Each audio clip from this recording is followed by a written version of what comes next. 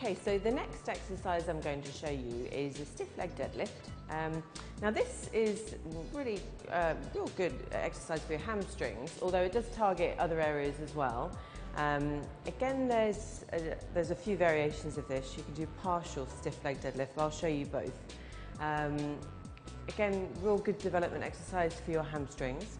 So if I demonstrate first, and I'll talk you through it as I'm going along.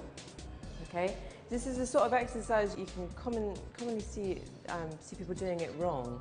Um, just particularly, you have to take a lot of care with your back when doing this exercise. As I've I've seen people doing it before, and they're quite they're quite um, you know sort of over curved curved back, which you really want to avoid with this exercise. You're, you're really going to hurt yourself. Um, if I demonstrate first, I'll talk you through it. Um, so if I take the bar, so for this exercise you'll be keeping your feet fairly close together. You're going to be lowering the bar, being careful, careful to keep a slight arch in your back.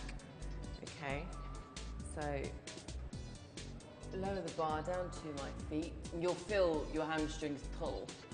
Keeping the bar close to your shins, you'll pull back up. Okay? So lower the bar,